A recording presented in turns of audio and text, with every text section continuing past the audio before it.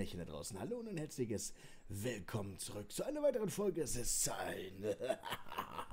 so, in der letzten Folge, was war da passiert? Wir haben mit Dr. Leitner gesprochen, oder beziehungsweise vielmehr mit ihm ähm, geschrieben. Und ja, widerspricht das Ganze, ne? Wir wollten ein Foto von seinen Armen sehen, weil unsere Mutter ihn ja gesehen hatte ähm, ohne Gips.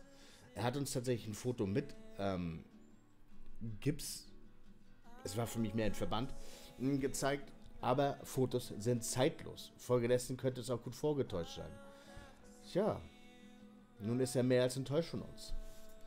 Pech für ihn. Aber reicht das, um ihn zu verdächtigen? Oder beziehungsweise dafür, dass er. Ähm, könnte er das überhaupt sein? So, denn zudem war es so, dass Serena. Serena.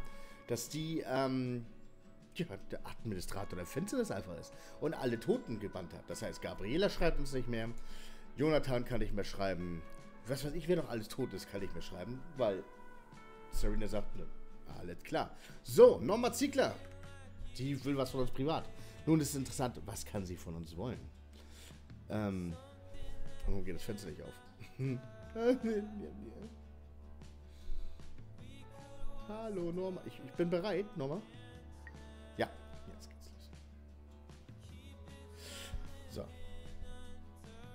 Vorgestern. Ich weiß, der Zeitpunkt könnte ungünstiger kaum sein. Dennoch wollte ich dir kurz Danke sagen, mein Guter.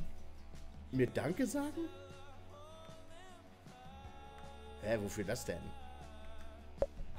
Das andere wäre so, nix sagen gewesen.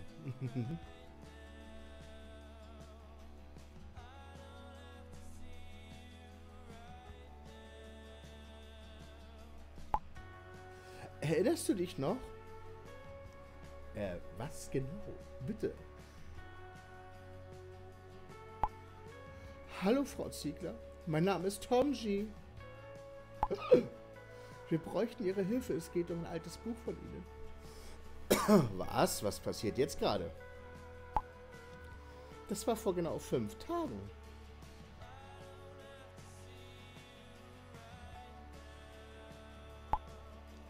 Da waren Henry und ich noch Spien Spinnefeind. Was ist denn, was ist denn Spinnefeind? Ich kenne so etwas gar nicht. Und heute. Ah, es geht darum, dass sie ähm, ja, Amore. Dass sie äh, muy muy grande Amore machen. Was ich damit sagen möchte. Was ist denn Spinnefeind? Noch nie was von gelesen gehört. Ich meine, ich bin ja schon alt, ne? Aber das, man lädt nie aus. Ohne dich hätte ich niemals erkannt, dass ich einen großen Fehler gemacht habe.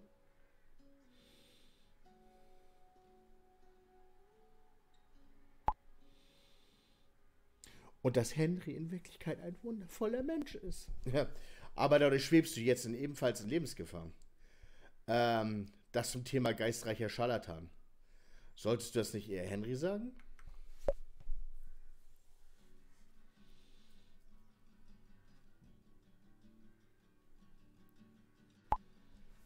Das habe ich, Tomji. Das ist gut. Das ist sehr gut. Herzlichen Glückwunsch. Normalerweise bin ich keine Person großer Worte, wenn es um Gefühle geht. Aber gestern Abend habe ich Henry offenbart, wie sehr ich ihn mag. Er hat sich gefreut wie ein kleiner Junge. Tja. Norma und Henry. Big Love. Ich schäme mich so dafür, was ich ihm angetan habe. Ich habe mit meinem Buch wissentlich sein Leben zerstört. Und er umsorgt mich so liebevoll, als wäre nie etwas gewesen. Tja, so etwas, ja, nennt man blindvoll Liebe oder so, ne? Mhm. Und auch wenn die Umstände nicht schlechter hätten sein können. Ich bin wirklich glücklich, dass ich euch alle, allesamt kennenlernen durfte. Ach, wie schön. Davon haben wir bloß nicht mehr sehr viel. Also wir zumindest heute dann auch nicht mehr. Denn ich bin wirklich glücklich, selbst wenn wir das alle nicht überstehen. Ja, okay. Ähm, jetzt werden Sie bitte nicht sentimental. Das beruht auf Gegenseitigkeit, Norma. Wir überstehen das Ganze, ganz sicher. Naja, niemals die Hoffnung verlieren und so, ne?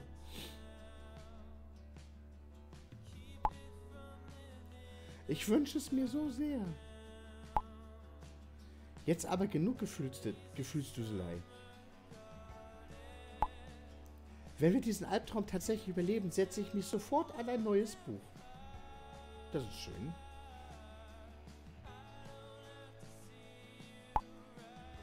»101 Dinge, die man tun sollte, nachdem man einen tödlichen Fluch überlebt hat.« Ja.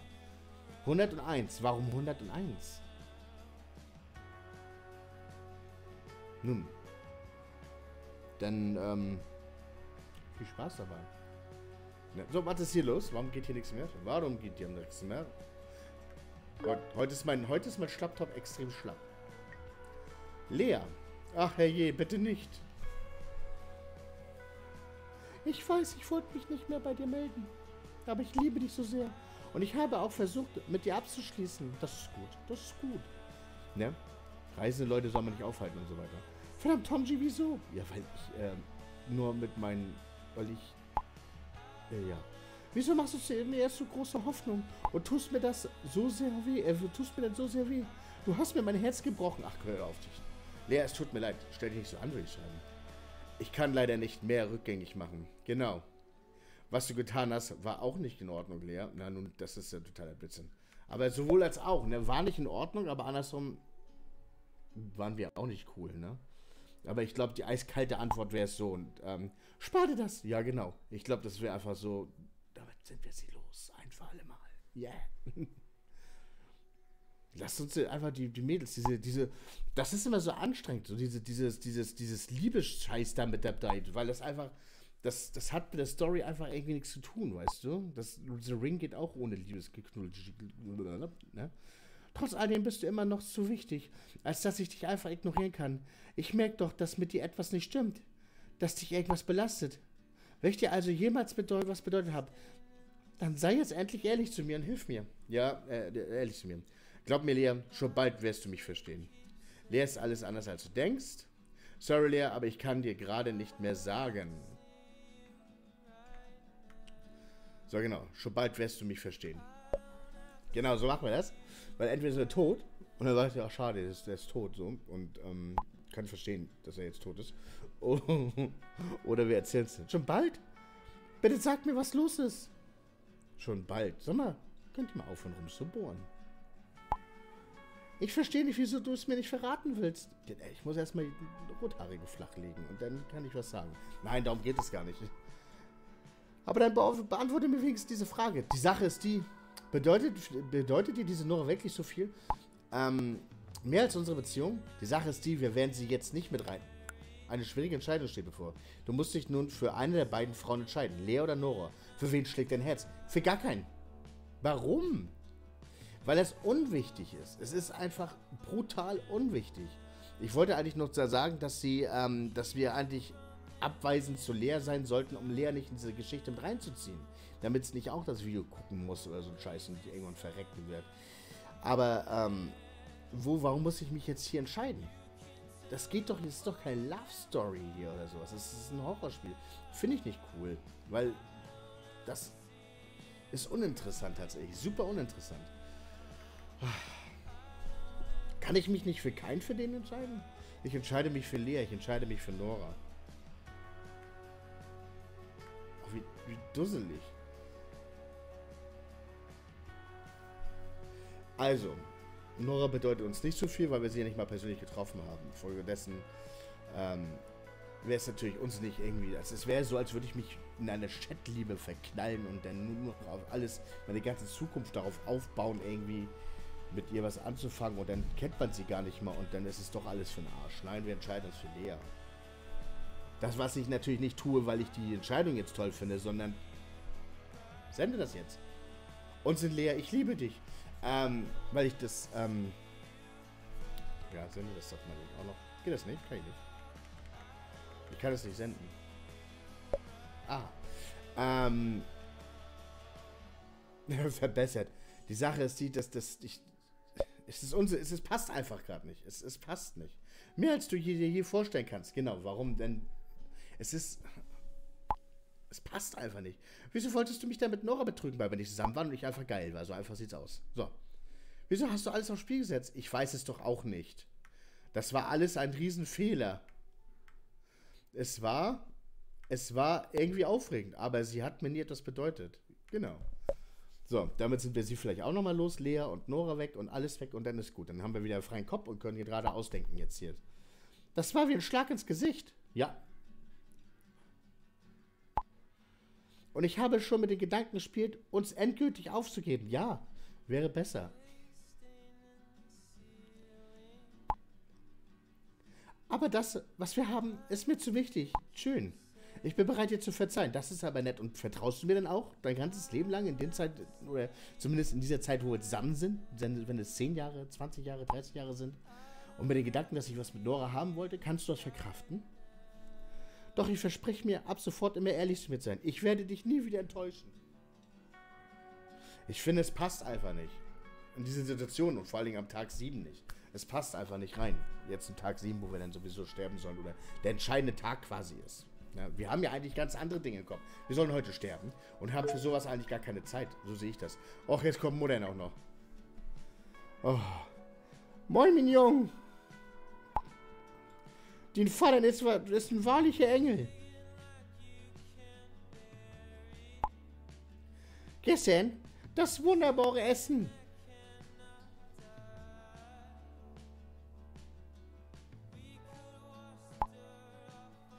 Und heute Morgen hätte er mich mit einem dollen Frühstück überrascht. Und du wirst das nicht glauben.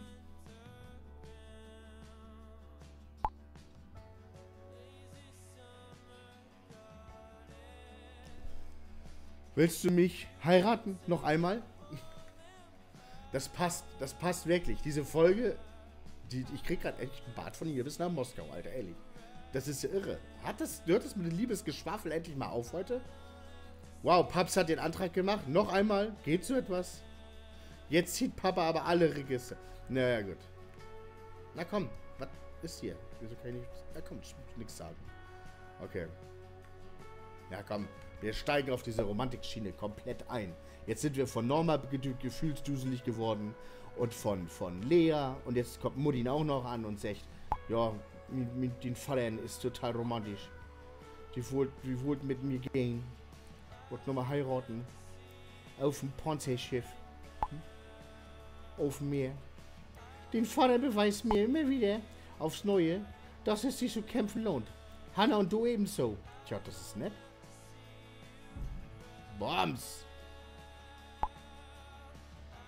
Als der Tumor festgestellt wurde, habe er mir Kraft gegeben. Danke, dank euch fühle ich mich wie im siebten Himmel, Jung. Mein Backbuch, das bald erscheinen wird. Und jetzt die Erneuerung unseres Ehegelübdes. Wow, das hast du dir echt verdient, Mutti. Und ich freue mich mit dir. Nix sagen. Das Nix sagen ist immer das Geilste. Komm, und ich freue mich. Und ich freue mich mit dir, Mutti. Mutti, ich, ich freue mich für die.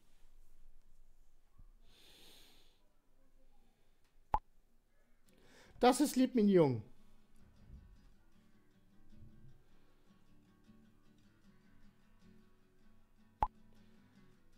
Aber jetzt erzähle ich Ihnen erstmal nach, nach, noch die tollen Neuigkeiten. Mach's gut, mein Jung. Ja. Mach's gut. Ich muss, ich muss, das ist laut hier. Ich muss tatsächlich heute mal Musik reinschneiden, aber wir haben ja gar kein Video bis jetzt gehabt. Deswegen werde ich heute ein bisschen Musik reinschneiden. Es ist hier Tobavo. Tobavo. So. Ihr hört selber, es knackt und knallt überall.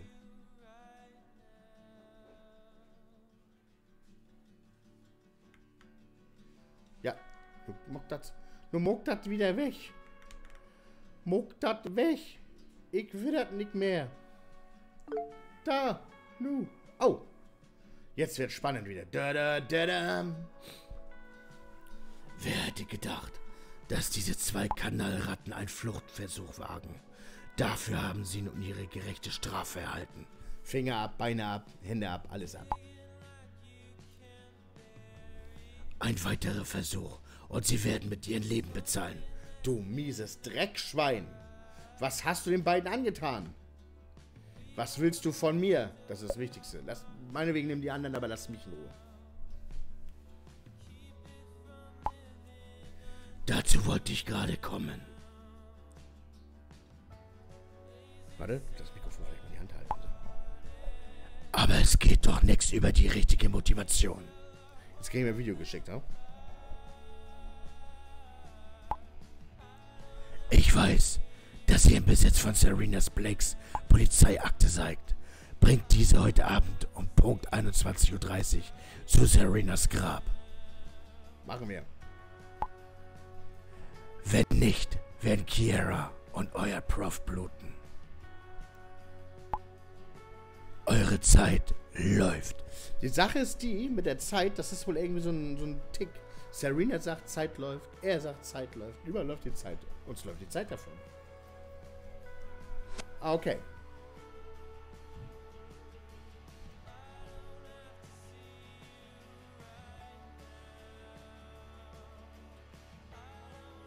Unbekannter hat den Chat verlassen. Ich komme hier immer nicht raus. Lass mich raus hier. Okay. Ähm, Organparty rein und nächste Folge oder wie Mucki das? Ah, komm, wir gucken mal rein, was die von uns wollen, die Jungs. So. Fuck, ich glaube, ich, ich glaube, es ist nix, ey. Ich will hier nur noch raus aus dieser scheiße Bude. Leute, der Entführer hat sich wieder bei mir gemeldet. Warum eigentlich immer bei uns? Kann er sich nicht bei Tayo? Tessa? Elke?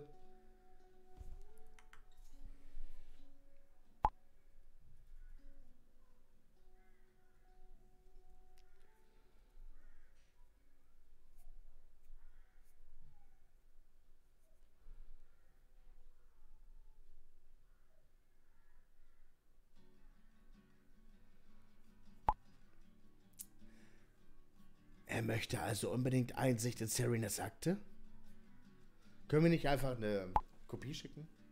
Oder wir behalten die Kopie und er kriegt das Original? Es steht wohl außer Frage, dass wir darauf eingehen müssen. Fragst sich nur, was er damit will. Ja, was denn wohl? Vernichten vielleicht oder so? Was, wenn es eine Falle ist? Mit Sicherheit? Wir haben doch eh keine andere Wahl. Genau, wir geben einfach auf.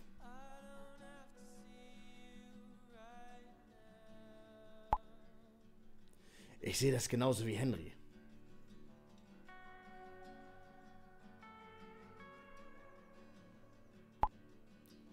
Außerdem öffnet sich uns die einmalige Chance, ihn endlich gefasst zu bekommen. Ich werde ein Team am und um den Friedhof platzieren. Und sobald der Kerl sich blicken lässt, werden meine, Freunde, äh, werden meine Freunde, meine Leute zugreifen. Keinen Fall.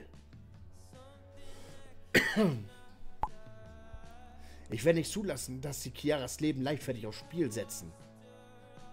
Ich halte es auch für keine gute Idee. Cedric, mir läuft die Zeit davon. Es geht hier nicht nur um Chiara. Unser aller Leben steht auf dem Spiel. Ja, Cedric, ja. Unser aller Leben. Ich äh, stimme diese Tomji zu. Ich finde es eine klasse, super tolle Idee. Wir müssen Sarinas Morde endlich erfassen bekommen. Ansonsten werden wir bald nichts mehr in Erinnerung sein. Und dann können wir weiterreden mit der Grande Amore, was hier die ganze Tage schon läuft zwischen deiner Mutter und deinem Vater. Oder der, diese, diese Norma und, und Henry. Oder, was ist hier noch, Grande Amore zwischen dir und Lea. Da machen wir muy, muy Grande Amore. Nichts ist härter als die Wahrheit. Helmut, dein Plan?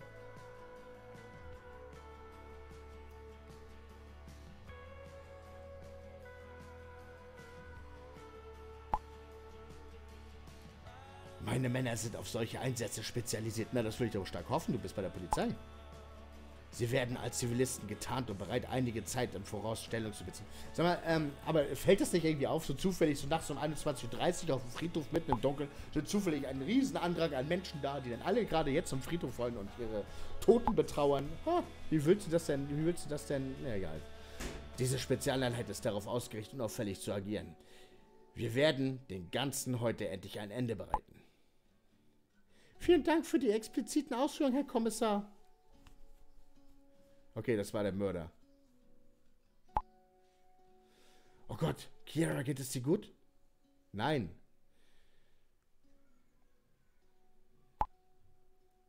Noch geht es dir gut. Also. Ja, war doch klar, dass es der Mörder ist. Aber, äh, äh, äh, schon mal drüber nachgedacht? Der hat das Handy doch, der hat es doch gecatcht.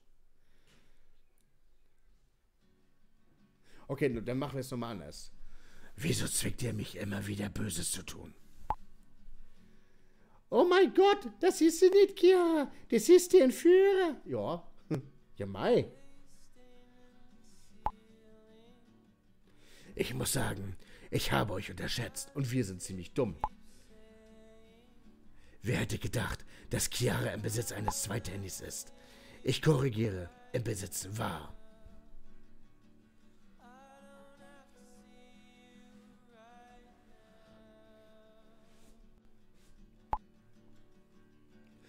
Hättet die ganze Zeit Kontakt und ich habe nichts davon mitbekommen. Und obendrauf besetzt ihr die Dreistigkeit, mir eine Falle stellen zu wollen.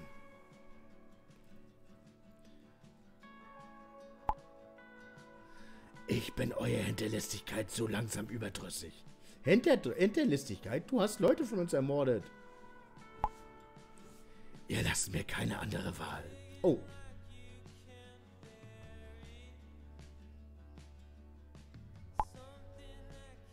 Diesmal lasse ich meine Worten Taten folgen. Und die Konsequenz wird fatal sein.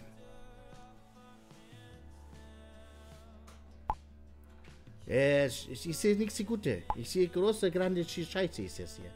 Du mieses Schwein, ich schwöre. Ich schwöre, ich mach dich, ich mach dich eiskalt kalt. Hm. Mein Team und ich werden uns zurückhalten. Tun Sie jetzt nichts Unüberlegtes. Fuck. Er ist offline. Wir müssen doch irgendwas tun. Sag mal, seid ihr nicht auch drauf gekommen, dass der, dass der Entführer sich im Chat aufhält? Zumal er wirklich Chiara hat. Vielleicht hätte man Chiara irgendwie rauslöschen müssen oder so. Ah, aber so weit denken unsere Leute hier ja nicht. ich wollte auch schon die ganze Zeit mal irgendwie mal sagen, bestimmt luschert der Typ mit zu. Ne? So, meine Kinderchen. What is here los? Tayo. Okay, Kinderchen, wir sehen uns wieder in der nächsten Folge und sehen dann, wie es denn vielleicht ausgeht oder weitergeht, wie auch immer. Vielen Dank fürs Reinschalten, es war sehr unterhaltsam und bis zum nächsten Mal. Und ciao.